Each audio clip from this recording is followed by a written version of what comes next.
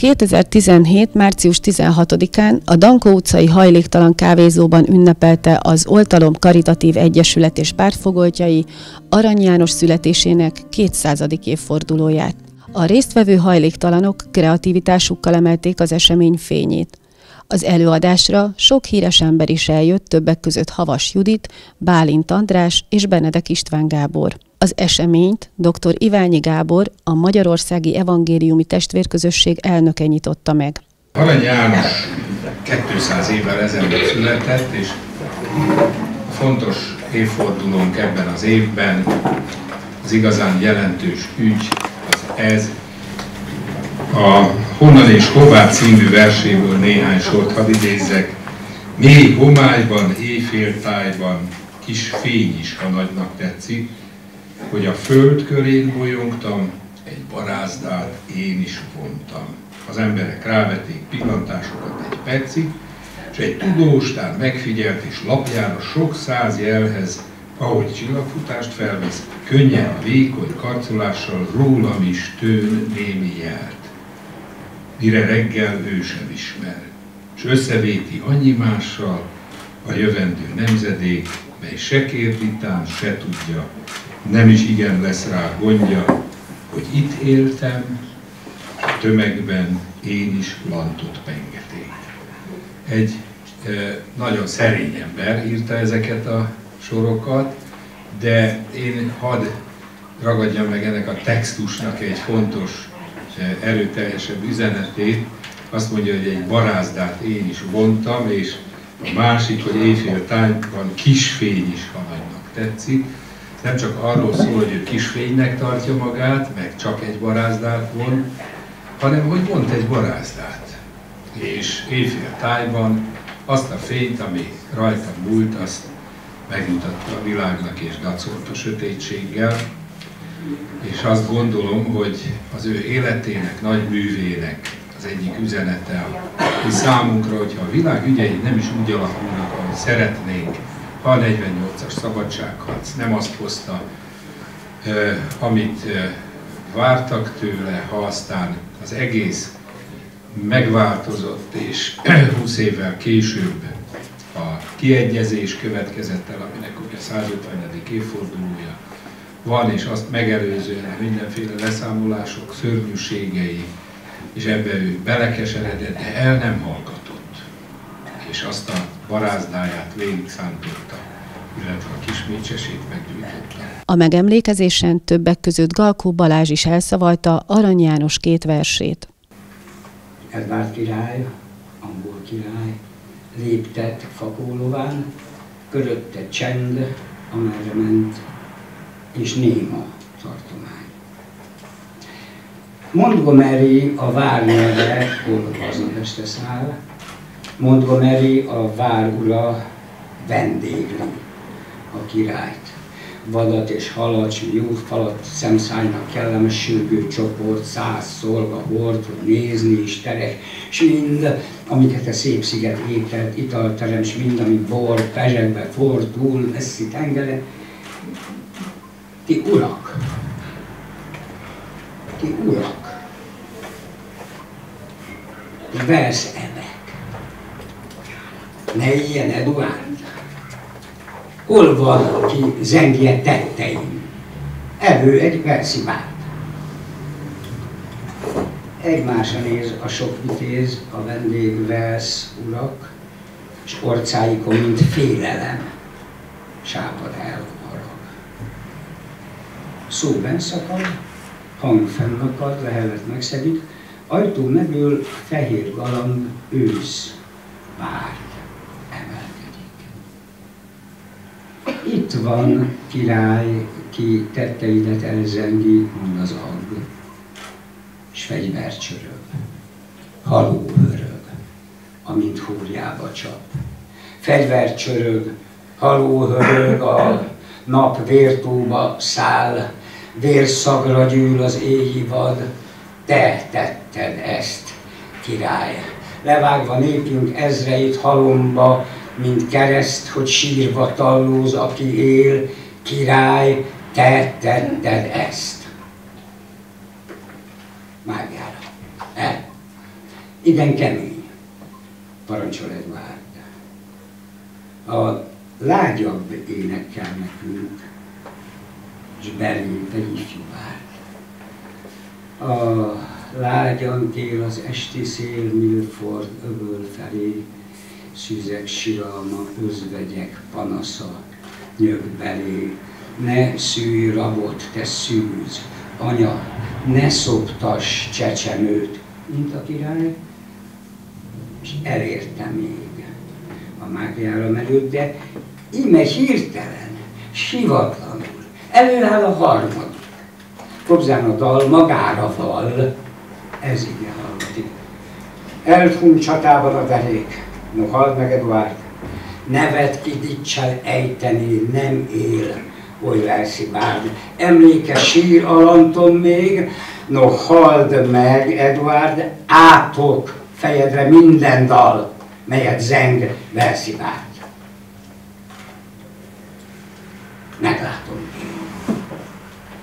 parancsot áll rettenetes. Mágiára ti ellenszegül minden versz énekest. Szolgái szétszáguldanak ország szerint tova, Montgomeryben így esett a híres lakoma. És Edvard király, angol király vágtat fakólován, körötte ég, földszint az ég a Velszi tartomány. 500 bizony dalolva ment lángsíva Veximálba. De egy sem bírtam mondani, hogy éljen Eduard. Látva a sok kedves és lelkes ünneplő résztvevőt, megkérdeztük Iványi Gábortól, hogyan sikerült az érdeklődőket ilyen szép számban összehozni. Itt valószínű Arany János a hívó szó, és az ő iránta érzett ö, egyedülálló tisztelet és szeretet az, ami miatt ezek a művészek, gondolkodók, értelmiségiek bármikor eljönnének. A másik ö, szempont az, hogy itt együtt egy asztalhoz ülnek hajléktalan embertársainkkal, akiknek ugyanúgy jár mindenféle művészeti élmény, amennyire lehet, mi ezt igyekszünk megadni nekik, és hát a harmadik dolog az talán a személyes barátság, ami bennünket régebb óta összeköt, és így lehetett meghívni erre az estére egy-egy asztalhoz egy ismert neves embert, és köztük olyanokat, akik Arany János verseit is elmondták nekünk. Iványi Gábor még azt is kiemelte, hogy az ünneplés mellett fontos, hogy az elesett, rászoruló, a társadalom perifériájára került embereket felemeljük, támogassuk és segítsünk számukra közösséget találni.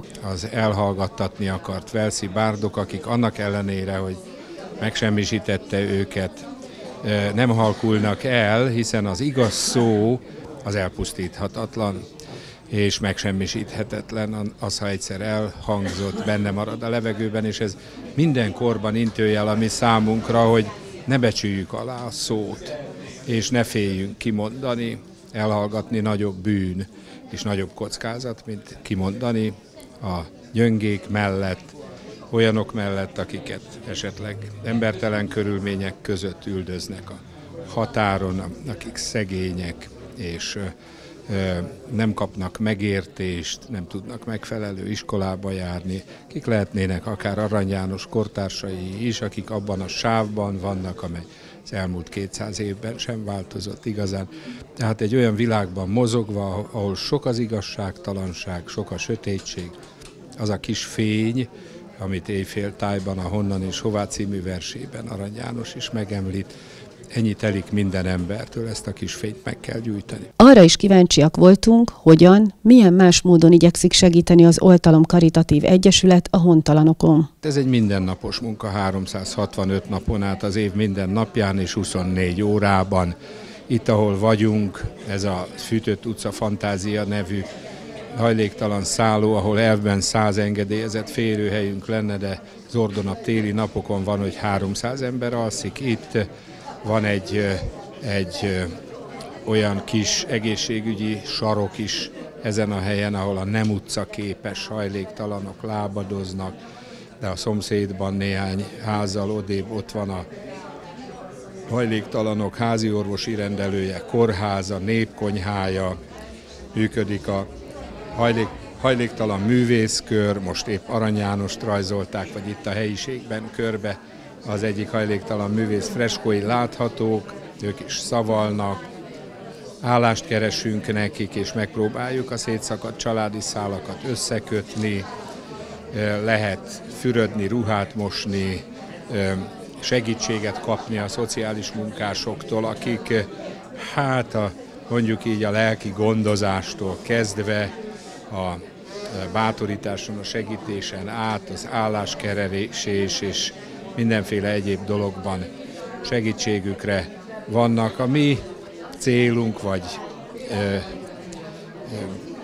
törekvésünk az, hogy azokat az embereket is, akik valahol kicsúsztak a társadalom ö, lukas szövetén, hogy azokat is valahogy visszavezessük, és megértessük másokkal is, velük is, hogy az ő életük is egy egyszeri, csodálatos élet, és van értelme, és órákra is, percekre is van értelme az embernek felismerni, szeretni és szolgálni az igazságot, és örülni az élet szépségeinek. Arany János bizonyosan büszke az égben, az Úr közelében, hiszen ezen a napon mindenki csak róla beszélt. Az előadók a verseit szavalták, élményeket osztottak meg a jelenlévőkkel, majd csoportokra osztva a közönséget aranykvízjáték vette kezdetét.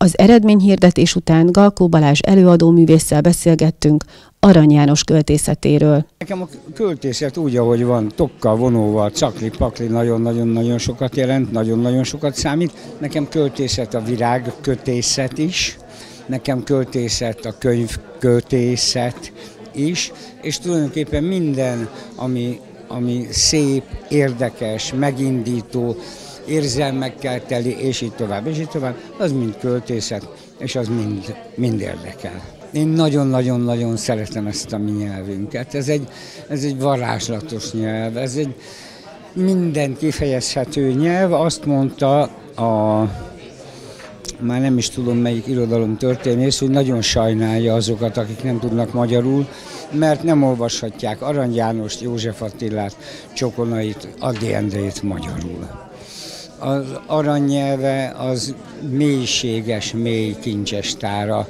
a magyar nyelvnek. Szerintem az, ami Arany János nyelvében nincs benne, az nincs is. Idézve dr. Iványi Gábort, ne becsüljük alá a szót, és ne féljünk kimondani. A szónak ereje van, és azt az erőt segítségre és támasznyújtására kell használni.